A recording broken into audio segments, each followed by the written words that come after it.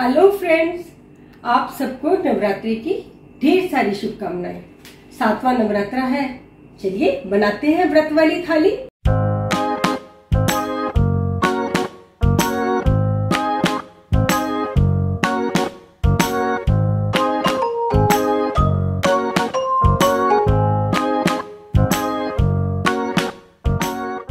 आज हम बनाने जा रहे हैं व्रत वाला पराठा और रायता। चटनी तो होगी होगी। तो इसके लिए हमने ये चार पाँच आलू मैंने बॉईल करके मैश कर लिए हैं। जितना हमें ज़रूरत होगी, उतना हम यूज़ कर लेंगे। और ये है सिंघाड़े का आटा। थोड़ी सी ग्रेट ये दरदरी की हुई मूंगफली, हरा धनिया और हरे धनिया में है एक हरी मिर्च, काली मिर्च और व्रत वाला नमक थोड़ी सी अदरक और थोड़ा सा ये साबुदाने का पाउडर ये ऑप्शनल है, आप डालना चाहिए डालिए, नहीं डालना चाहे, मत डालिए। मेरे पास ये इतना सा पड़ा था तो मुझे लगा पराठा और क्रिस्पी हो जाएगा तो मैं डाल रही हूँ। ये एक बॉल सिंघाड़े का आटा है। ये हम पूरा का पूरा इसमें डाल लेते हैं। और इसमें हमारे आलू कितने आएँगे, वो हम अभी देख लेंगे। हरा धनिया और हरी मिर्ची, दरदरी की पीनट अदरक, नमक और काली मिर्ची। थोड़ी सी अजवाइन भी डाल ही लेते हैं। बिल्कुल थोड़ी सी डाल दी हमने अजवाइन। इसकी खुशबू भी आएगी और इसका टेस्ट भी आएगा। अब हम इसमें डाल रहे हैं आलू। आप चाहें तो थोड़ी सी लाल मिर्ची भी डाल सकते हैं। आलू हमने लगभग सारा ही डाल लिया, थोड़ा सा आलू हम छोड़ रहे हैं। और अब इसमें हम थोड़ा सा गर्म पानी मिक्स करेंगे, बिल्कुल थोड़ा सा। ये देखिए, काफ़ी टाइट हमारा अभी ये डो है, काफ़ी टाइट है। इसमें बिल्कुल हल्का सा मैं पानी का छिटा दूँगी, ज़्यादा नहीं। एक चम्मच के आसपास मैंने इसमें पानी डाला है। क्योंकि जो आलू है, उससे हमारा आटा वैसे ही ढीला पड़ जाता है थोड़ा। लगभग टू टीस्पून हम इसमें घी डाल देंगे, क्योंकि फिर हमें जब पराठे की स्टफिंग में घी डालने की ज़रूरत नहीं पड़ेगी। आटा हमें ना, पाँच मिनट के लिए थोड़े गीले कपड़े से ढक के रख देंगे ऐसे, पाँच मिनट के लिए। पाँच मिनट बाद आटा हमारा बिल्कुल सॉफ्ट हो गया है। और ये सिंघाड़े का ही सूखा आटा हम लेंगे और इस तरह से बिल्कुल हल्के हाथ से चकले पर बेल लेंगे। पराठा बेल लिया, तवे को थोड़ा ग्रीस कर लिया और इस पर हमने अब धीरे से बिले हुए पराठे को रख दिया।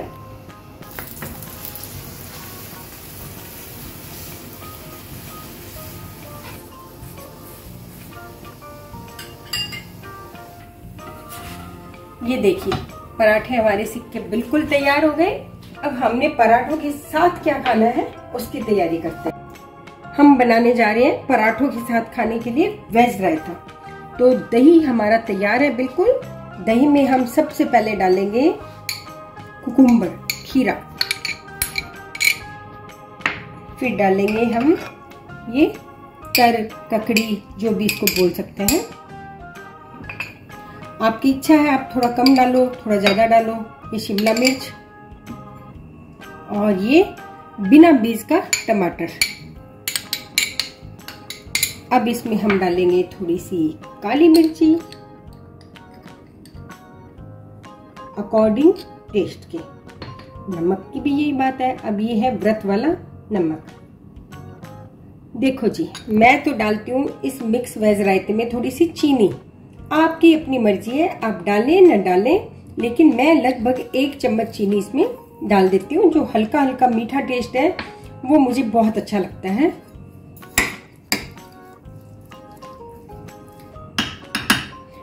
ये देखिए, सारा हमने मिक्स कर लिया है। अब हम इसमें डालेंगे थोड़ा सा बीट रूट जो बीट रूट से जो हमारे रायते का कलर आएगा बस पूछो मत कैसा कलर आएगा। और थोड़ा सा डाल दिया हमने हरा धनिया।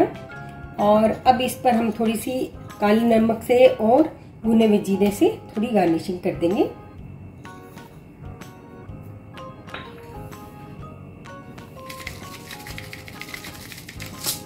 ये देखो जी, रायता हमारा तैयार हो गया। अब हम इस पर थोड़ी सी किशमिश डाल देते हैं।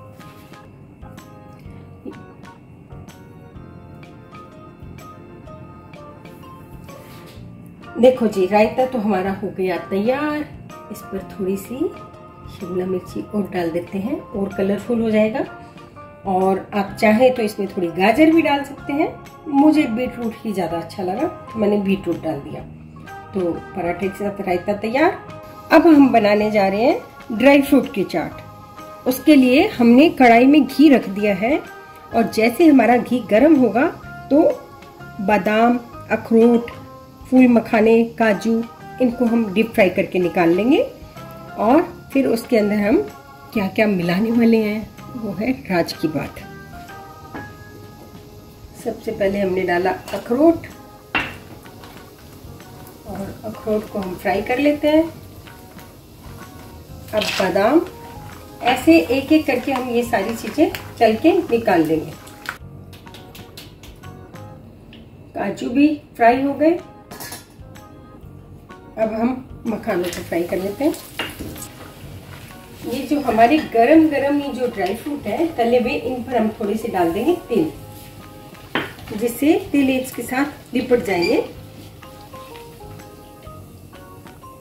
ये देखो जी, इसमें चाहे तो थोड़ी तिल और डाल देंगे। और अब हम डालेंगे इसमें काली मिर्ची।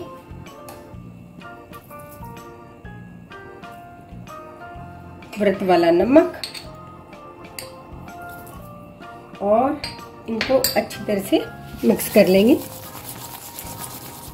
अब हम डालेंगे इसमें शहद। अब डालेंगे इसमें थोड़ा शहद। है ना राज की बात? ये देखिए। और इनको अच्छी तरह से मिक्स कर लेते हैं। ये देखिए, ये हमारी जो ड्राई फ्रूट वाली चाट है वो तैयार है और इसके बीच में हमने फिर ये डाला और फिर ऊपर से ये ड्राई फ्रूट डाले हमने। भाई, मज़ा आ जाएगा व्रत में ये खा के। Full energy. पूरी, ये देखिए। ये देखिए, ये मल्टी सीड्स हैं सारे। काली किशमिश भी है। सब कुछ हेल्थ से भरा हुआ है। हमारा ये ड्राई फ्रूट का चाट बिल्कुल रेडी है। हमें चाहिए छीला हुआ कोकोनट ये देखिए, ये ये वाला जो छिलका है, ये ये वाला जो छिलका है, ये हमने उतार लिया है और कोकोनट की गिरी तैयार है। इसके पीस काट के हम ऐसे मिक्सी के जार में डाल देंगे। इस तरह से सारे पीस काट के। ये देखिए, और इसमें हम डाल देंगे ये तीन से चार इलायची पीसी हुई और चीनी डालेंगे हम अकॉर्डिंग योर टेस्ट ठीक है? मैं ये एक बोल चीनी का है, आधा डाल दूँगी इसमें। लगभग एक नारियल में एक टेबल स्पून चीनी, पूरी की पूरी। और एक गिलास के लगभग इसमें पानी डाल देंगे। एक गिलास डाल दो, डेढ़ गिलास डाल दो, पानी डाल दिया हमने। अब इसको हम घुमा लेंगे और थोड़ी आइस डाल देंगे। ये देखिए, ये कोकोनट मिल्क तैयार है। इसको हम छान लेंगे और जो बचेगा, एक बार फिर उसको घुमा लेंगे मिक्सी में थोड़ा सा पानी डाल के। आधा कप पानी हमने और डाला है और हम इसको फिर से घुमा रहे हैं। ये देखिए। अब फ्रेंड्स, पता है क्या? हम इसको भी बेकार नहीं करते हैं। ये खाने में अच्छा लगता है। बच्चे बड़े शौक से खाते हैं और इसकी हम थोड़ा सा भून के कढ़ाई में और थोड़ी चीनी मिला सकते हैं। बहुत अच्छा लगता है। और यदि आपको नहीं यूज़ करना तो कोई दिक्कत वाली बात नहीं है। ये हमारा कोकोनट मिल्क बिल्कुल रेडी हो गया है। लो जी, ये देखो। बहुत ही गजब के टेस्ट का बनता है ये कोकोनट मिल्क इलायची फ्लेवर के साथ। फ्रेंड्स हमारा व्रत का प्लेटर व्रत की थाली बिल्कुल तैयार है। सिंघाड़े के पराठे, उसके साथ रायता, हरे धनिए की चटनी पीनट और दही के साथ। और पुदीने की मीठी चटनी कच्चे आम के साथ। उसके बाद मीठे में हमने बनाया आज ये ड्राई फ्रूट की चाट और पीने के लिए कोकोनट का मिल्क।